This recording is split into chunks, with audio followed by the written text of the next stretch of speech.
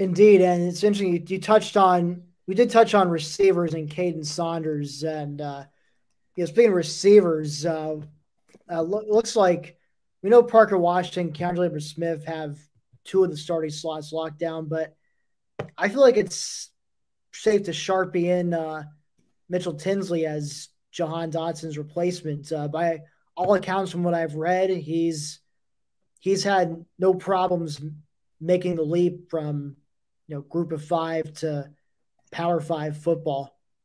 So uh, I'm and uh, he put up some nice stat, really nice stats at Western Kentucky last year. Uh, 14 touchdowns, had nearly 1,500 yards receiving. So uh, it'll, it'll, I'm definitely.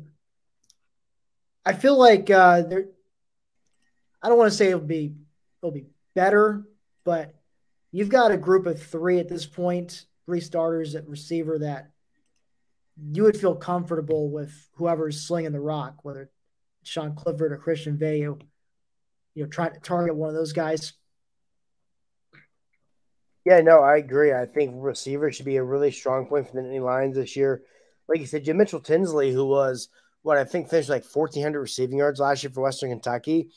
And, you know, when when you look at Tinsley, to me at least, what's most encouraging is not necessarily just the stats he put up for Western Kentucky, but when he played Big Ten schools, he played against Indiana and Michigan State last year, and he teed off on both those teams. So clearly, the talent is there, the ability to play at the Big Ten levels there.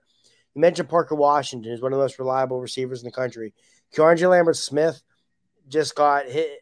I mean, James Franklin after practice on on Wednesday sung all kinds of praise for Lambert Smith. It seems like he is taking a step forward. And if you look down that two deep, Malick Meiga could be a deep play threat. We've talked about Saunders. Trey Wallace is another guy people in the program very high on.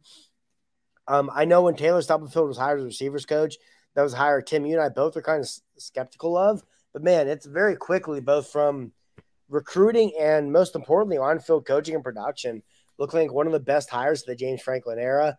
It has very much gotten to the point where as long as Taylor Stubblefield is here, I'm never going to worry about receiver because the last two years Penn State has just cranked out one productive receiver after another. Indeed, I like that's. I think Stubbs has been a very, you know, very pleasant surprise uh, compared to when they first hired him, and I think uh, you know it's to. I think it's this. This uh, it's to continue as far as having successful group of receivers, and you know, we, I know we. I remember a few years ago we were harping on him for a couple recruiting misses, uh, but he's really picked it up. I just think, you know, the results have kind of recruited themselves. I guess while we're sticking on the subject of receiving, let's switch over to the tight ends real quick. Uh, I mean, it's hard not to sugar. It was it was disappointing in 2021. Uh, expected a lot more out of this unit. Uh, what do you what do you be looking for out of the tight ends in the spring game?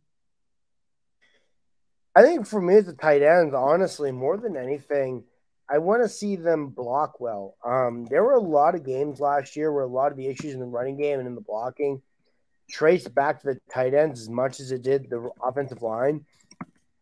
You know, when the tight ends were targeted last year, for the most part, they did pretty well. Um, Brenton Strange had a couple just real killer drops against Iowa, but for the most part, the tight ends caught the ball when they were targeted. Um, I think this year the tight ends should bounce back. There's I think there's too much talent in the room them not to. Um, Brenton Strange met with the media the other day, and he said about how the tight end room has approached approaches offseason completely differently. They're a lot more motivated. They're looking to prove the people who are doubting them wrong, and that's what you want to hear. That's what you want to hear when they come from the off the season of last year. You know, you look at the tight ends: Theo Johnson, Brenton Strange, Tyler Warren. There's a lot of talent in that room. Those are probably three future NFL tight ends. I just want to see them come out and like I said, this spring, I want to see them block better because I don't doubt they'll catch the ball when it's thrown to them, but I need to see them block better. And I think if the tight ends can take a step forward in blocking, that could go a long way towards getting this running game in general going and back in gear for Penn State.